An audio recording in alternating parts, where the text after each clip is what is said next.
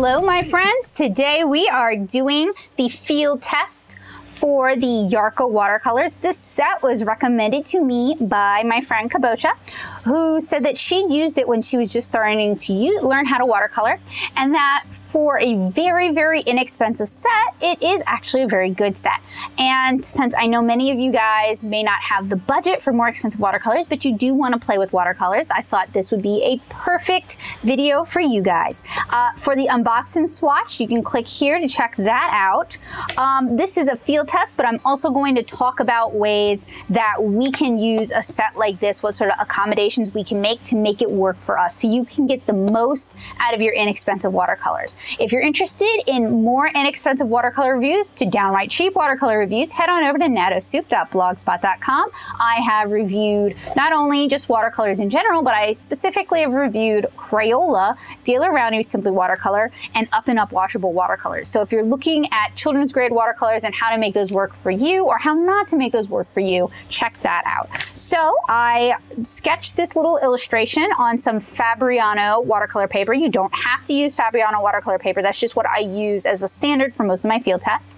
And I inked it with the Sailor Mitchell Ida, I believe, or the Sakura Pigma FB. Um, let me grab a, well, I don't have the FB on hand, but I have the MB. So these are Copic marker proof. They are waterproof. I use these in a lot of my illustrations. You can find these at Michael's. You can find these on Amazon. They are easy to find, they're very inexpensive, and they'll last you a while. So I really do recommend you go ahead and you invest in a set of these. And a set has three. It has the fine brush, the medium brush, and the big brush. This is the medium brush.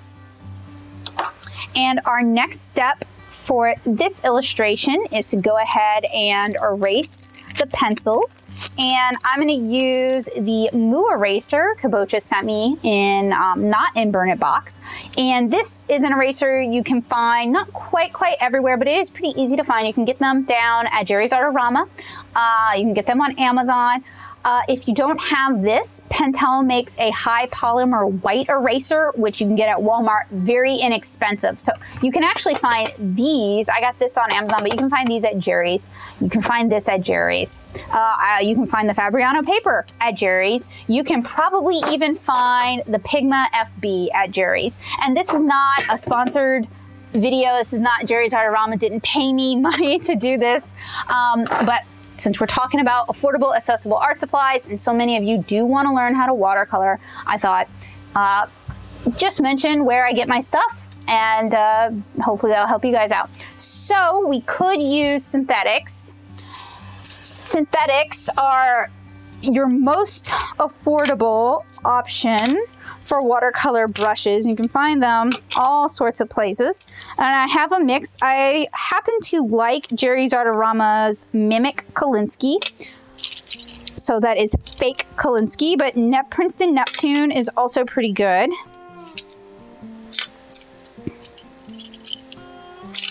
And Scepter Gold, which I think only Blick sells, are also pretty good. So I probably will not use entirely synthetics, but I will probably use a lot of synthetics. And that way, those of you who are on a tighter budget can maybe follow along a little bit better. And here are, a, um, yeah, a, more, a couple more affordable natural hair brushes. This is a size four, uh, Creative Mark Kolinsky Sable, their Rhapsody. These are fairly affordable and they'll last you a while. And then this is a Blick Master. This is a squirrel brush and it's also a really good inexpensive natural hair brush. It's nice to have a couple in your collection if you can afford it. Okay, so what I'm gonna want is I'm gonna want some blue tape and I'm gonna want something I can secure that to. And unfortunately, all of my nice backer boards are in use, so I'm actually going to be cheap and I'm just going to use, seriously, very cheap, recycle some garbage.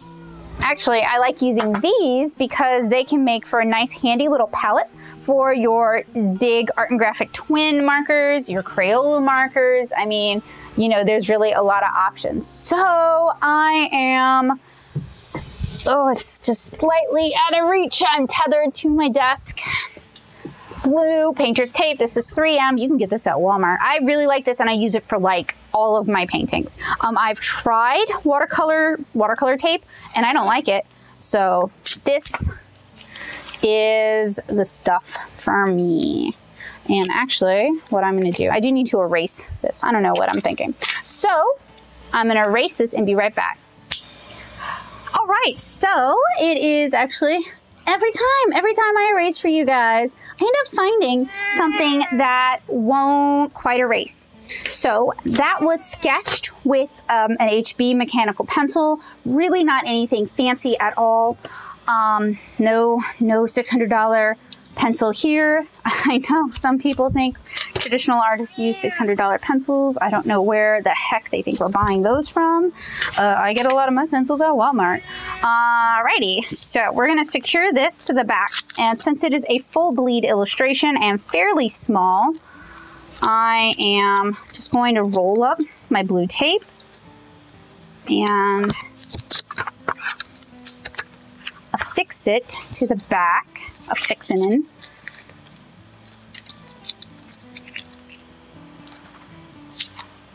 And then, and then, and then, and then, one more. We don't actually need three, and you're gonna wanna be careful when you're removing it. All right, now, the reason I have affixed it to this is we need it on a nice stable surface. And uh, I don't, you could, you could tape it to your desk, but honey, I've got like 6,000 videos I gotta record today. So I'm not doing that. And I found a nasty greasy spot on this thing. I don't know how that happened other than C-A-T-S. So I'm using some rubbing alcohol. I'm just gonna remove that and I was careful not to just randomly spray it because that is bad news. So you are going to need now, in addition to your brushes, you're gonna need the most expensive materials ever. You're gonna need a cup of clean water, ideally two, and some paper towels. And I know those can be really hard to find, but I believe in you. You might have to scrimp, you might have to save, you might have to babysit for that money, but I know you can get a cup of tap water and some paper towels. So I did tell a bit of a falsehood. You are, if you have one, you're gonna want a daisy palette. If you don't have a daisy palette, that's totally okay. You can honestly use like an old ceramic plate. Anything with dividers in it would be helpful. A lot of food packaging, like the plastic packaging will have that kind of stuff. You can also use the interior lid on your Yarka set. It doesn't have the divides, uh, so it's gonna be a little trickier to work with, but you can use it.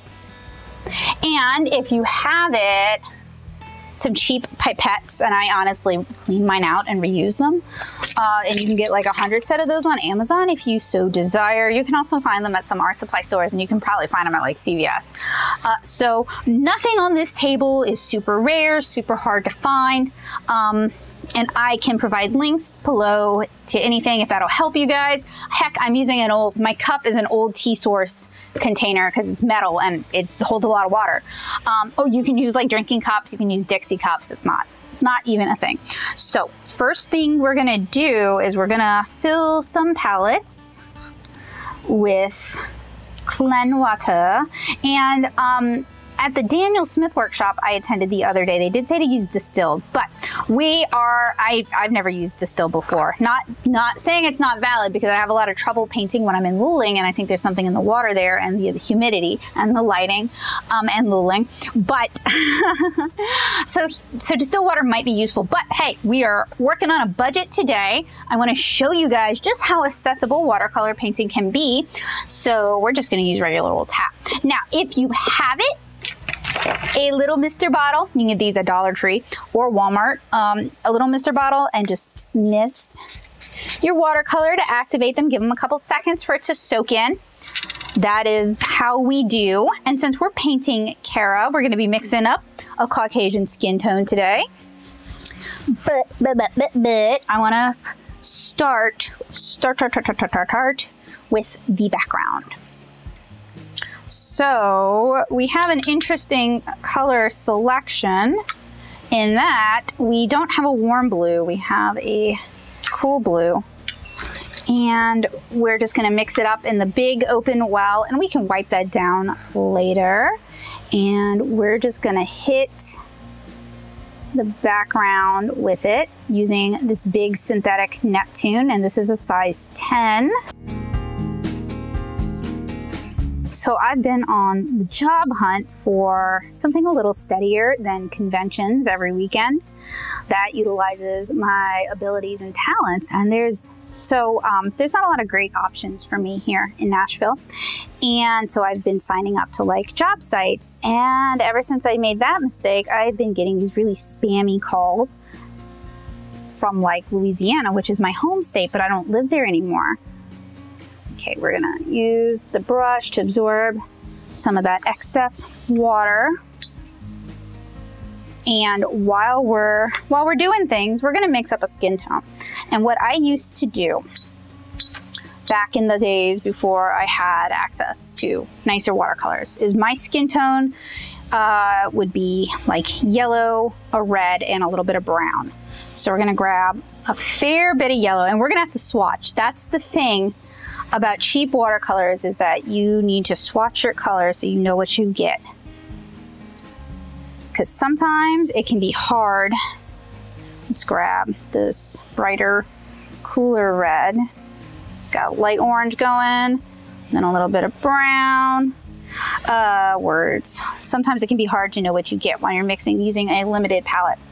And I actually did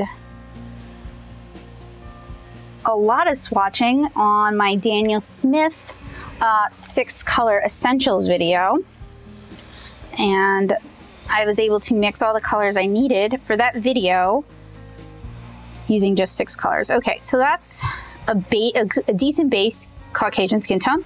It is going to end up being really, really light. I'm gonna let this dry. Now, ideally you want to swatch on the same kind of paper uh, that you're painting on, but um, we're doing this on a budget, and I know a lot of you guys would have a hard time justifying sacrificing a piece of watercolor paper just for swatching. I recommend that you do, and you can use cheaper papers. But I understand, and honestly, I usually, I'm just trying to see if I'm in the ballpark.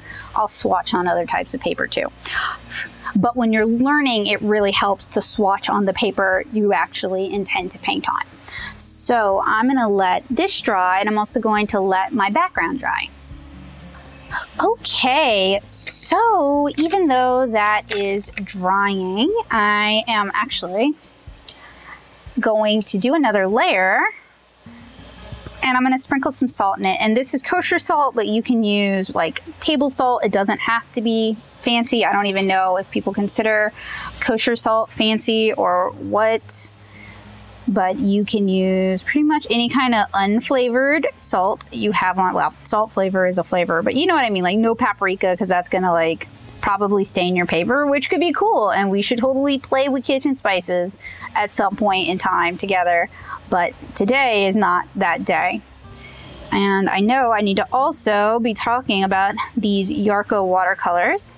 Haven't really gotten far enough into them yet to like have a real opinion, so I apologize for that. Skin tone looked like it mixed up okay. I could go a little pinker because Kara has slightly pinker skin. And I'm just gonna drip drop some of the salt in and what it does is it, well it does a few things. Uh, it can absorb some of the water, so it's gonna give a cool crystallization effect to the paper. And this is like a really, really easy technique to use to add just like a little bit of interest and texture to your watercolor without, you know, needing like a, a more developed skill set. Now we need to let that dry fully before we can progress. And I will zoomity zoomity zoom in for you guys. One day, one day I'll have a micro lens, or macro is really the word we're looking for here. I'll have a macro lens and we can do like all kinds of cool stuff. But right now I'm rolling with uh, a little camcorder and it beats the heck out of using a phone for this. So I'm grateful. But one day we'll have production values. I'm gonna sprinkle a little more salt in. You, it doesn't work super well if it's like pooled onto the paper. And it can be a really nice technique for making like snowflakes. Uh, that's not what I'm doing here. I just wanted some background texture because otherwise that blue wash is going to be pretty uneventful. And then, as always, we let it dry. All right, so once the paint dries, you're gonna wanna head on over to the trash can and if if you have a drafting brush, you can use that to brush away the salt. If you don't, you can use your hand. You could also probably use, like if you have like a craft feather laying around, you could probably use that as well. Um, so I'm gonna go do that. And you're gonna want to remove all of the salt. It will affect your other layers. So you may have to pick at it with your fingernail. All right, so our skin tone has dried but that's actually not what I'm doing next. What I'm doing next is I'm to pick up a little bit of yellow. I'm going to, and I wish it was actually a more, a cooler yellow. What do they call it? Like yellow hue? Cool hue is green hue, warm hue is red hue. We're going to do an all over wash with a very diluted not diluted, diluted. A diluted yellow. It's gonna, A, it's gonna make the foreground a little warmer, help it pop a little bit.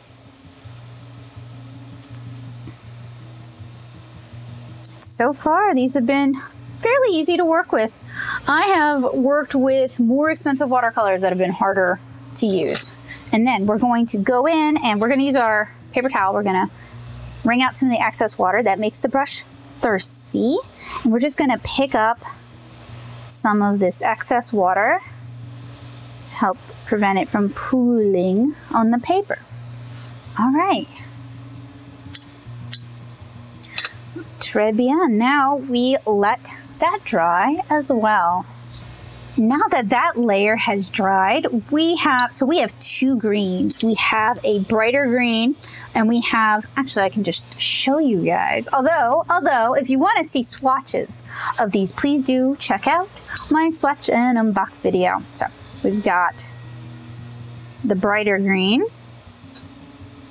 and then we've got kind of a more sap green. And which one do we want? Hmm, I kind of want to go with the sap green. Or we could even mix the two and that way we could get something sort of in between. But what I really, really want to start out with is a green yellow. So I'm to mix a little bit of A, a little bit of B in that yellow, grab a lot more yellow. Now, with these, you're going to have to mix a lot of paint to get the color you want because these are student grade. In fact, they're really technically they're children's grade, but they're pretty good for children's grade. Um, and they're not, I don't think they're necessarily using, they might be using glycerin as the binder. But it also could be gum arabic. Anyway, they don't have as much glycerin as Crayola seems to have. And I find Crayola hard, hard to actually layer and paint with as you guys can check out in my affordable art supply series uh, at nattosoup.blogspot.com. So I'm going to just do a color fill where I fill the whole area in with one color uniformly. And this will be our base color for our leaves. And then I'm going to soak up the excess water. That way we can get a more uniform dry time. I'll tell you guys something. I know I was calling the paper towels the most expensive part, but they're really one of the more valuable parts. It tends to get um, sort of underappreciated, underrepresented. You can use any kind, really. You can use napkins from McDonald's if that's what you got. I've done it before. Just make sure they're clean, don't have any grease, don't have any food. I know that should be an, an obvious, but if in doubt, just don't use it, just throw it out. All right, there we go. Already got some nice colors going in. Now I'm gonna grab a little bit of that background blue and I'm actually gonna use that as the shade in her eyes and we're gonna just do the top half and I'll zoom it, zoom zoom. Zoom boom a foom it so you guys can see. And of course, we allow that to dry because that's what watercolor is. It's drying times.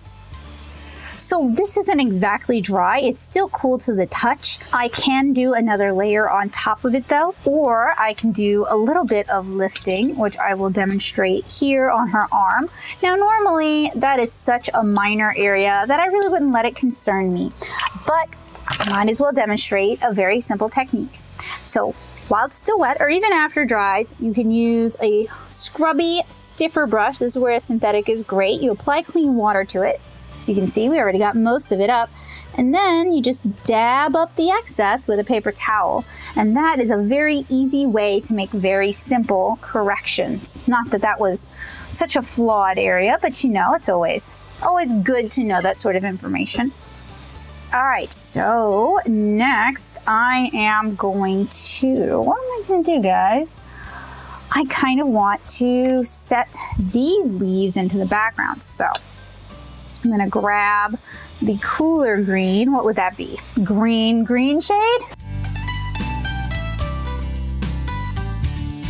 And I'm leaving the edges because it implies that they were a little sun-kissed.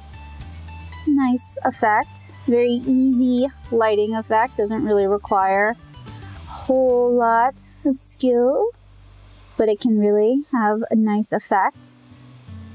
Pick up some more of that green. It's okay to turn your paper as you need to. It's another reason why I didn't want to just tape it to the desktop.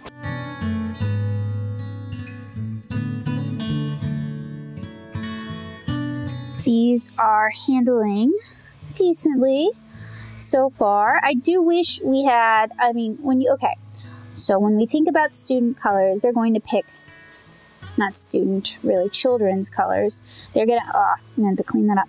They're going to pick colors that are going to be appealing to kids, that are going to be useful for kids in their schoolwork. They're not necessarily going to pick colors that make sense from like if you were an art student or an artistic student or a student of the arts, or if you just wanted your kid to learn practical color theory instead of um, well, I mean, there's there's a couple of different approaches to color theory. There's additive color theory and there's subtractive color theory. One of them is based on light, which is great. And it's how we see color in the world, but it isn't how we paint color in the world. And it's a huge stumbling block for a lot of people learning about color. They'll draw in their sixth grade science lessons and be like, okay, that's how color works. Well, no, that's not how color works when you're working with additive color. Or am I thinking subtractive?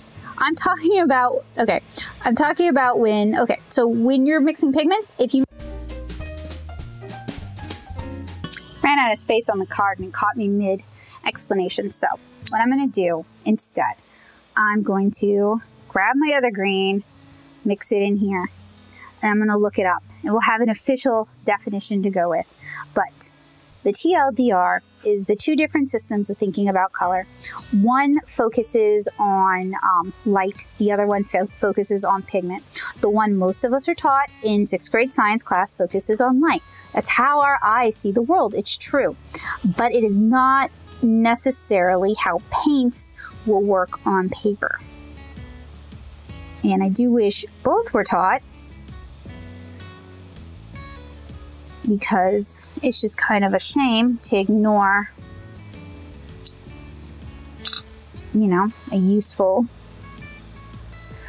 Anyway, so background leaves have a blue influence, our foreground leaves have a yellow influence, and we're gonna keep working on that.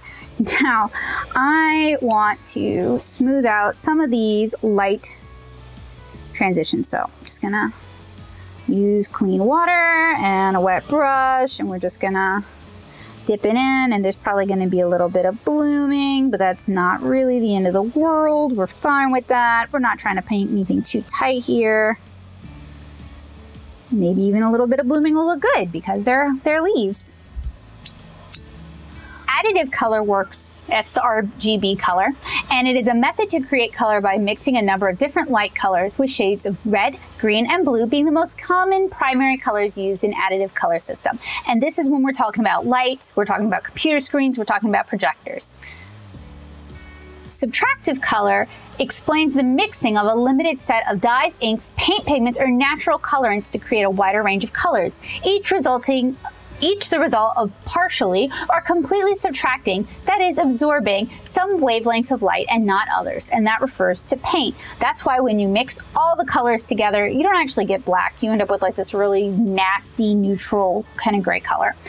Um, and that is why with light, when you combine three different, well, RGB. When you combine RGB light sources, you're going to end up with a white light. That's the whole prism thing. The prism splits it off in different wavelengths. And both of those definitions came from Wikipedia.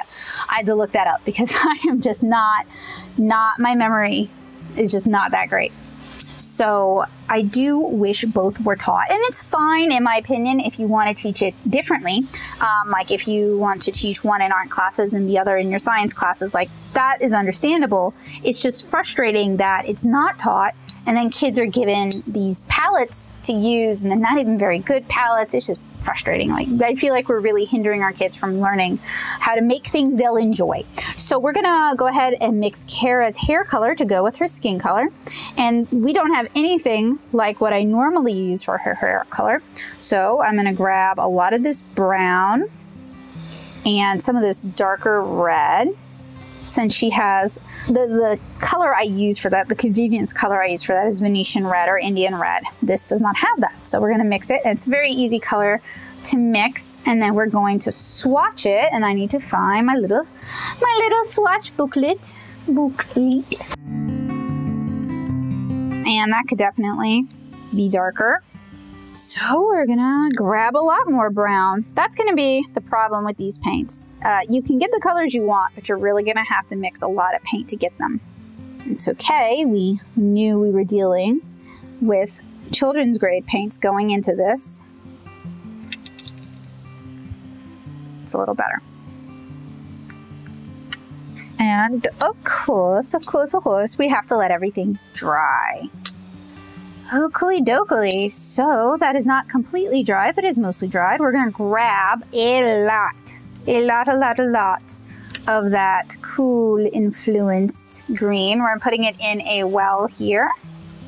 Then we're gonna grab, is that purple? And that's a whatever. I don't know what color, that's blue. Okay. Sorry. And we're gonna mix a lot of that blue with that dark green.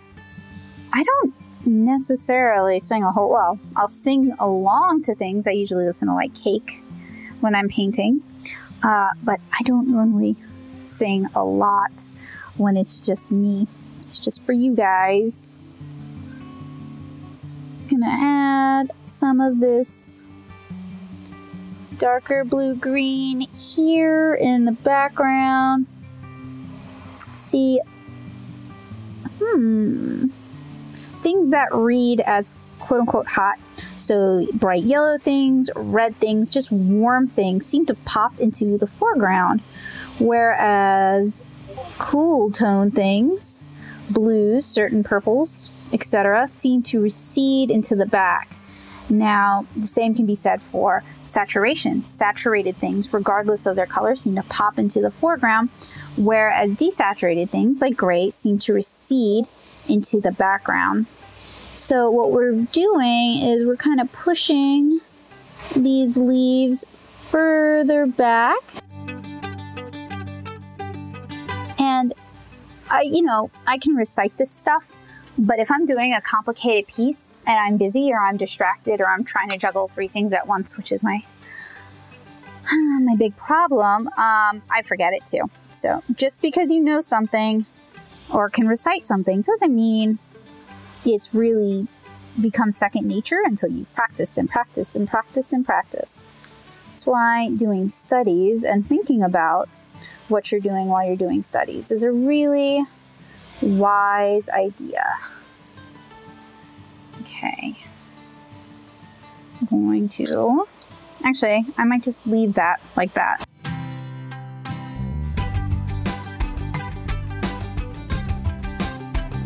Looking good, huh? At least I think so. Now we're gonna grab some of that more yellow influence, that warmer green. Maybe even grab too much, might be too saturated. There we go. I think by now you guys know what words are gonna come out of my mouth. Next, we gotta let this dry. But talking about these as Yarka, I am pleased with the color clarity. I'm pleased with the ability to layer these one layer after another. I've noticed that with cheaper watercolors, um, and I'm noticing a little bit of uh, glycerin buildup where I've really applied it heavily. But in general, these handle so much better than what is rightfully their competition, the Crayolas and the the um, washable watercolor markers, the uh, washable watercolors, watercolors for kids. Now, I have used Yarka professional grade watercolors in the past. That's what I used to paint Kara with, and I really like those, and I need to pull that set out again and do an official review. So Yarka does make good watercolors, and these are really not bad either. They probably have a little bit more glycerin in them so that they can um, wash out of clothes a little more easily. Now, Kabocha did point out that uh, these have a heavy pigment load, so unlike perhaps uh, Crayola, these may use pigment instead of dyes, and that may make them staining, but it also may make them perform a little bit better. Now, we're not testing, I'm not a mom, we're not testing for how well these come out of clothes. That is not this channel and that is not me. Um, it could be, if you guys really, really, really, really, really, want to see that, uh, you can join my Patreon and make your voice heard, and we can do that. But that's not my goal here today. My goal here today is to see how well these handle as watercolors, not how washable they are. And um, for the price, I think I paid like $8 for them, which I know for those of you who are used to painting with Crayola specifically, that sounds like a king's ransom because that's like four times the cost. But if you're used to professional grade watercolors, or even like middle grade, student grade watercolors, that's a really good price and they're performing pretty well. So I am pretty pleased with these. Now the proof is going to be in the pudding when we start painting Kara because then we're really dealing with mixtures of color. Um, so that's really the true test. But so far, so good.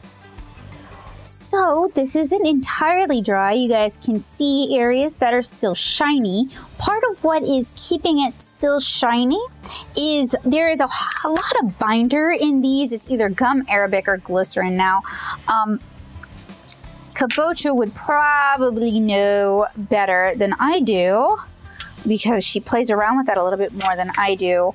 Um, I'm thinking it's glycerin because these sort of moist cakes, the glycerin is what actually keeps them so moist.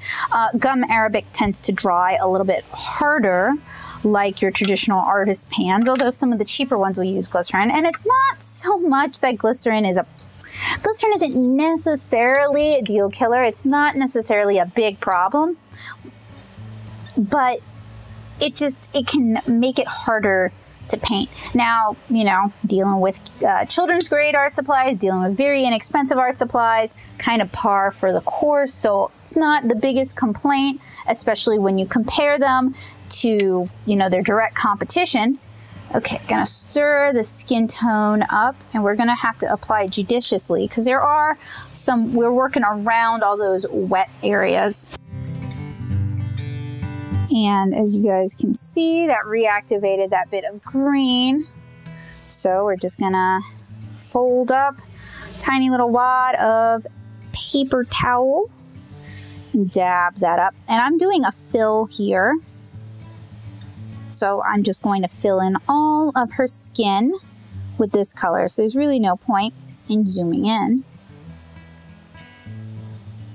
on this because we're not doing anything. And the proof is going to be in the pudding when we let this dry. Now, I do need to give you guys a disclaimer. I am heading off to go get a haircut. And I'm going to finish just this layer of her skin and then I'm going to go. And I will probably be gone for an hour, an hour and a half. There's going to be some evaporation in my paints.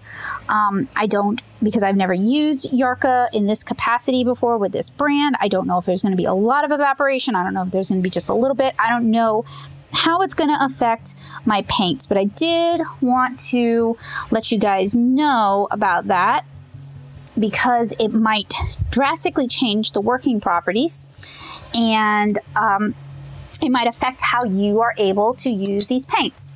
So that is just a heads up. But so far, skin tone is decent. It was fairly easy to mix, didn't require like six different swatches. We'll see how light it dries.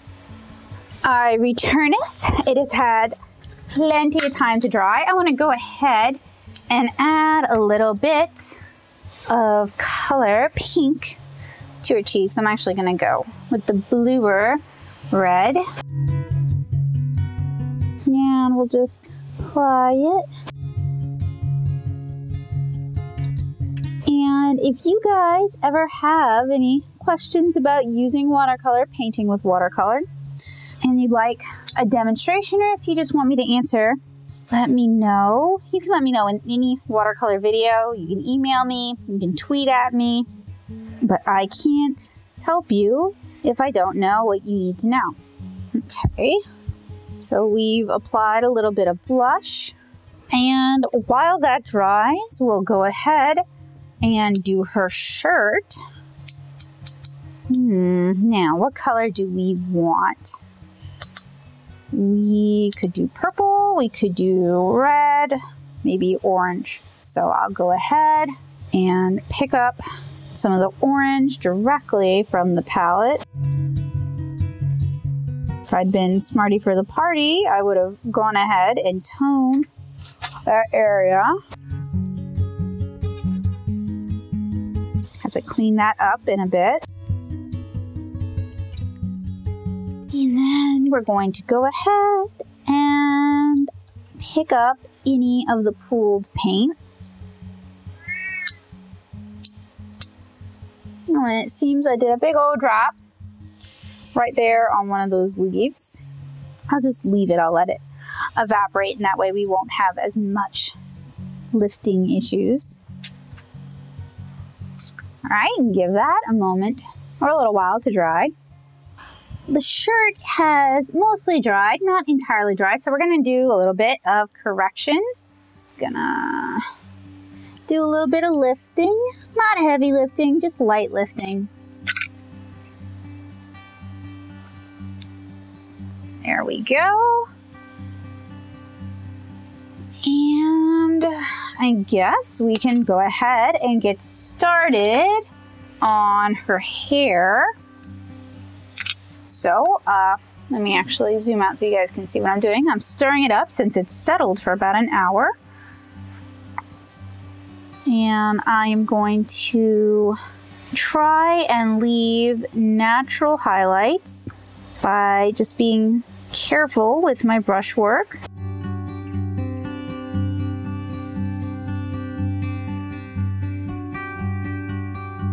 Go ahead and get her eyes. This is a good color for her freckles. Well, maybe a little darker, but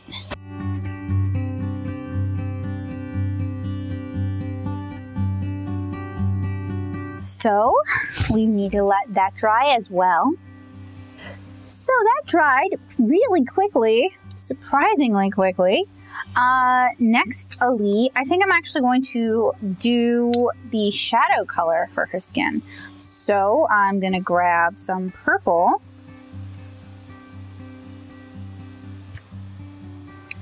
Using one of our pre-filled wells and then some of the blue red. We want sort of a red violet color. All right, switchy swatch. Mmm, that's kind of weak. So we're gonna grab some more red, a little more purple. Try that out again, it's a little better. And I'm gonna grab one of my synthetics. I know I've been painting a lot with the Blick Squirrel. And then we're just going to use this to shade her skin. And up here as well. And we're going to do more layers of skin tone, but I'm not sure how much these inexpensive paints will lift. So I want to try and use my art order of operations that will best suit the materials we're using. Tends to be the key for using cheap art supplies is to figure out the magic order where you can get the best results out of them. Right, do a little blenderoo out. And then, of course, you gotta give it time to dry. So that dried, I'm actually gonna go in and do a little bit more shading along the face, but otherwise I'm pretty happy with how that turned out. And maybe a little bit here and here.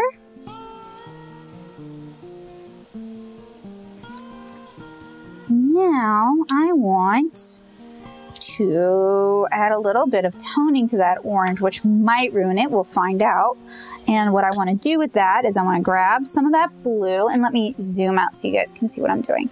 Grab some of that blue and then grab some of that blue green. We could just use the stuff we already mixed. And in a really light, I guess I have to wait though until the skin shadow has dried now that I look at it. It seems that her underarm has dried enough that we can do what we need to do. And this ought to work. If it doesn't lift up that orange, I will be impressed because that's definitely a shortcoming of cheaper watercolor. Even nicer watercolors will do that. Doing a glaze on top is sometimes not, not the best choice. Um, but it actually seems to be, oh, there we go. A little bit, a little bit of lifting. And you know what? If I were, even if I were using nicer watercolors, I would use a soft brush. I wouldn't use a synthetic because a synthetic has the tendency to lift pigment up anyway. So, you know, considering we're using a synthetic brush, it's a little uh, stiffer, a little harder than what I would normally use. This is not a bad result. And we're gonna go over this again with another layer of orange go in now with a little more saturated blue-green and I'm just gonna float and float is where you just sort of dab that color on top very gently. There we go. So far I'm pretty pleased with it. Um, and I kind of want to do her hair, but I kind of want to mix it darker. And I might regret this, but I might not. I will zoomity, zoomity, zoom, zoom, zoom, zoom out. We're gonna grab some more brown. We're gonna try to mix this hair color a little more saturated. So we're grabbing a lot of brown. We're grabbing some red and then we're gonna swatch it. And we just want, I think that's gonna be more saturated. Good. All right, so for cheap watercolor, these are actually pretty mixable and you get plenty. Not that I've ever been the one to be excited about a buffet, but I know since we're using more, trying to get the saturation we want, it's nice that we are provided with more. And I don't want to call these cakes because they're kind of poured watercolors, but the amount we're getting is pretty generous. And the well itself is quite large. So, those of you who do brush lettering and you want to do larger pieces, these might be decent watercolors for what you're looking to do don't know about the light fastness. Learned an interesting piece of information today, though. Or not today, I'm so sorry. I learned an interesting piece of information over the weekend at Hands on Creativity. There is a special machine that they use that uses these like crazy high wattage, high intensity light bulbs and it basically can test light fastness, like the light fastness of 100 years in four days. Now, when I do light fastness tests, And I try not to do too many of them because that is space and effort that I don't feel like expending when the information is usually available online. Um, I just put it in my window, which is not effective. And that window, none of our windows really get a lot of light anyway. So, you know, it's not really the best way to test for light fastness. And the only reason I did that is because somebody was talking smack about Soho watercolors having like a crazy short light fast life. So I was like, fine, I'll put it in the window and see.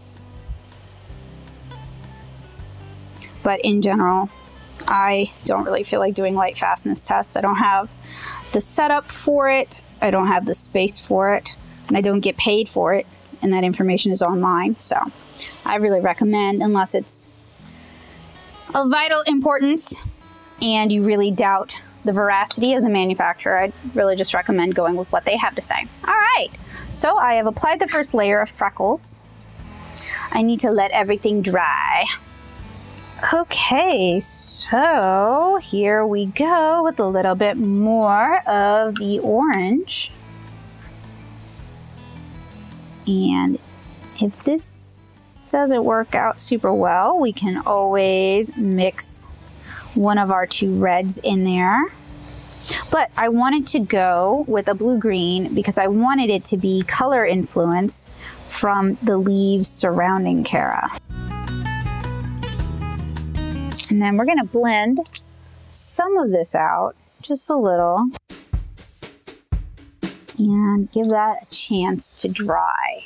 Zoom in so you guys can see better. So while that dries, and it's looking a little bit like a hot mess, but that is okay. We're here to learn, we're here to play. I'm gonna do another layer on Kara's skin, and it might, I might need to mix it darker. I will probably need to mix it darker soon. We can probably get one more layer out of it. But we, so, and I need to avoid this area because that's all wet over there. So, with watercolor, if you want things not to look muddy, you need to build up uh, contrast. And right now, this color is just not really enough of a contrast from the layer that went before. Now we can get away with this for like one, maybe two layers, but it's just not gonna last. It's not not a good situation. So we will finish with this layer here. And ooh, ooh, I need to be careful because there could be bleeding. And then I'm going to go in and absorb some of the color, help disperse it a little bit better. All right. So, zoom out. First, we're gonna make a swatch of our existing skin tone. So this is our skin tone. Now we're gonna ruin that skin tone by mixing in more color. And I have a I have polluted my yellow by adding a lot of green. So gonna work very carefully away from that. And what I'm trying to do is I'm trying to create a more saturated version of the color we currently have. So it doesn't necessarily need to be darker. Needs to be more saturated. And one of the ways we can do that is we can allow some of the water to evaporate out. That looks a little bit better. But that takes time, and since we're working with cheap watercolors, we don't know what's going to happen with that. With the Crayola, um, the amount of glycerin made it kind of really hard to use. So that isn't necessarily the best choice. So mixing it darker is probably a better option. And I will allow this to dry and then check back in. All right, guys, so that's had a chance to dry. We have remixed our skin tone to be a little bit more, sa more saturated. Going in now with that darker skin tone. Now, sometimes with little pieces like this, I have a hard time controlling it with the Blick Squirrel. But I'm trying not to scrape up prior layers, which is a problem I've been having with the synthetics. So it's kind of a catch-22.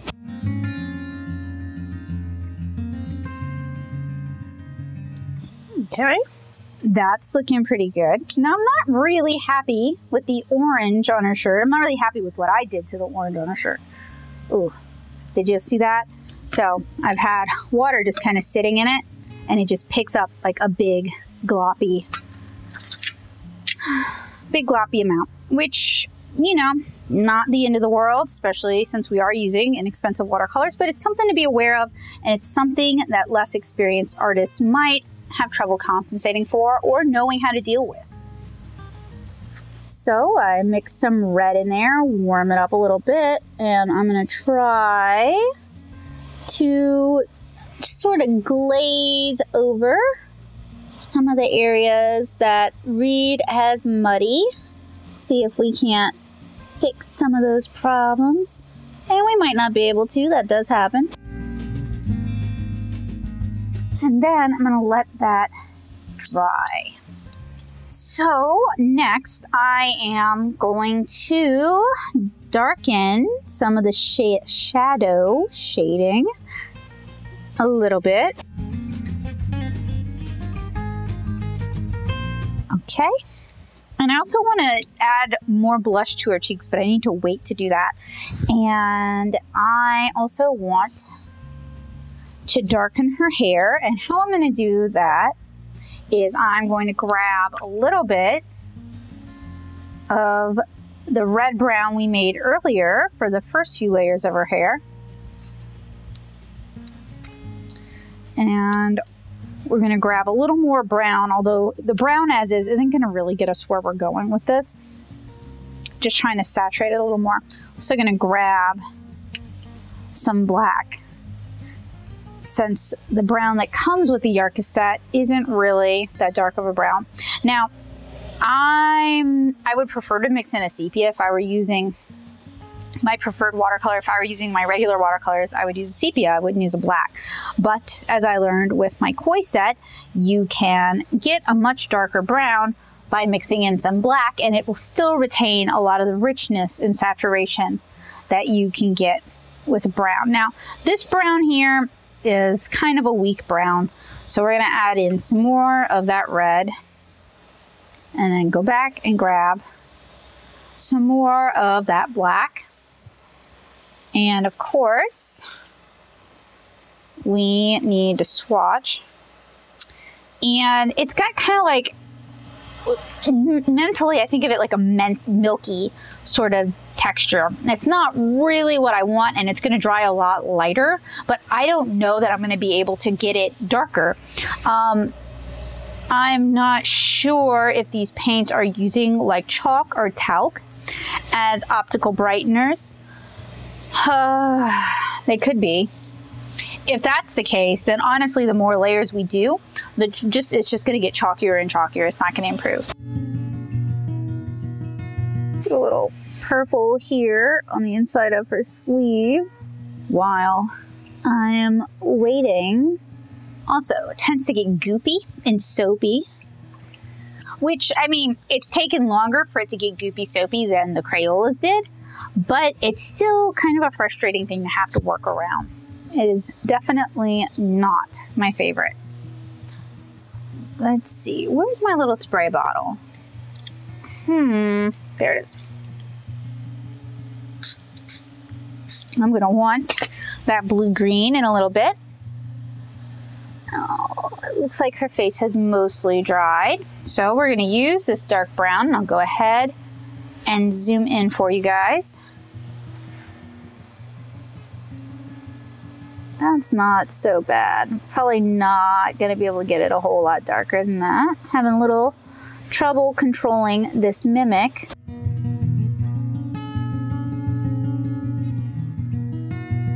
and the paper is buckling, kipping up a little bit. It's not too bad, but it does make control a little bit harder.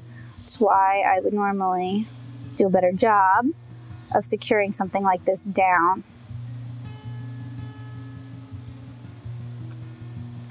Now afterwards, if you want it to be completely flat, which can kind of help if you're going to scan this, uh, you can store it underneath some heavy books or in between some heavy books for about a week, and that'll help flatten it out. Now, generally, when doing watercolors and watercolor tutorials, I like to use a little bit of white to help pop some highlights out into this. Now, this set doesn't come with a white, and I don't actually have any white Crayola pencils here.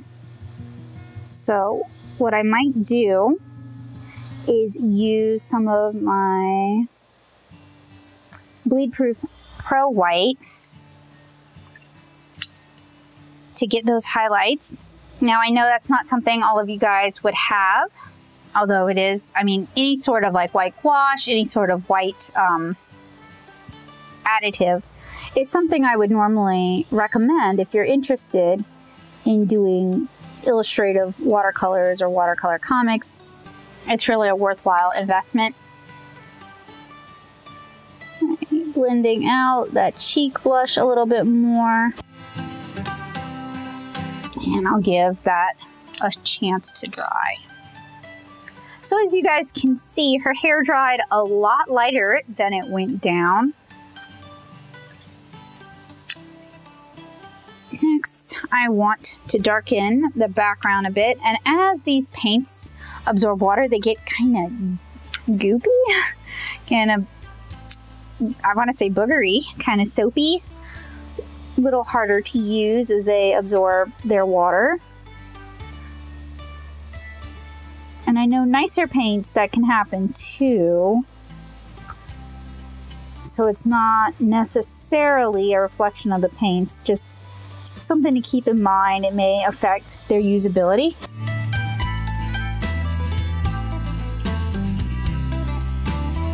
And then after this has a chance to dry, I'm going to add a few little highlights using that Pro White I was telling you guys about. And we'll be about done. So I am going to add some white details with this uh, Dr. P.H. Martin's Bleed Proof White. If you have it, you can use white gouache. You can use um, Copic Opaque White. I find that gel pens don't like to draw over watercolor. I have an easier time using gel pens over marker. So I'm just going to scoop some up and put it on my palette little bit goes a fairly long way. And just use it to pop a few highlights in here or in there. And I'm using a fairly bristled synthetic.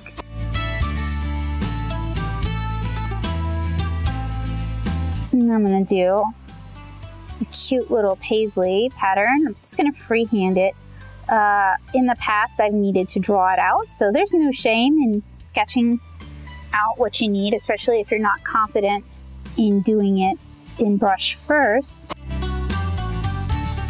And if you guys are new to my channel, if this is your first video of mine, welcome. I hope this was a helpful video for you guys. I do a lot of watercolor tutorials here on the channel and over at nattosoup.blogspot.com.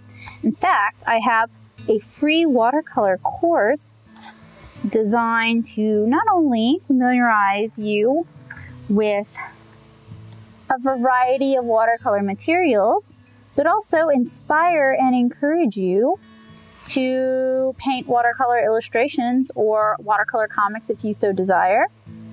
And you can find that at nattosoup.blogspot.com. And that is based on my experiences painting the Kidlit comic 7 inch Kara.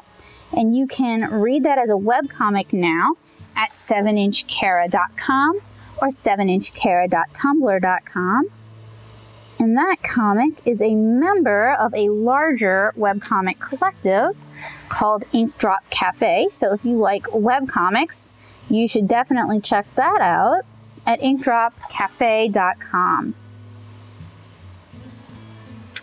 And if you have any questions about watercolor, you can always hit me up in my comment section. You can send me an email or you can ask me on Twitter. Whatever is comfortable for you is good for me. Now I'm gonna add just a little bit of white here and here. But we are basically done. So that was the field test for, grab the insect, the uh, Yarka Rama watercolors. These were imported by Jack Richeson. Um, you can find this using the link below in my description on Amazon. You can also pick these up at Jerry's Artorama. I found these watercolors to be much easier to use than their Crayola or up and up counterparts. Now I haven't tested every children's grade watercolor on the market ever. If that is something you really want to see me tortured with, you can head on over to my Patreon and join my art nerd community and let me know that there. Um, I found that these were fairly easy to use. Um, I was able to render a pretty decent little illustration. It sure beats the heck out of the Crayola illustration I did. In fact, I might actually have that handy because I have Oh, I took I took so many examples out of it. Let me see if I have it in here. Doop doop doop. That's Crayola. Uh, what's it called? But not Crayola watercolors. Mm, nope, I don't have it in here. So, but you can find the scan for that at nattosoup.blogspot.com and search for Crayola in my search bar and it should come up fairly quickly. Uh, there is a fair amount of glycerin. You guys can see how shiny that is. It's either glycerin or gum arabic but I didn't have the sloughing problems that I've had with other cheap brands. I was able to layer, I was able to blend, I was able to mix colors fairly well. Um, Saturation is not the greatest, but that's kind of to be expected with children's watercolor.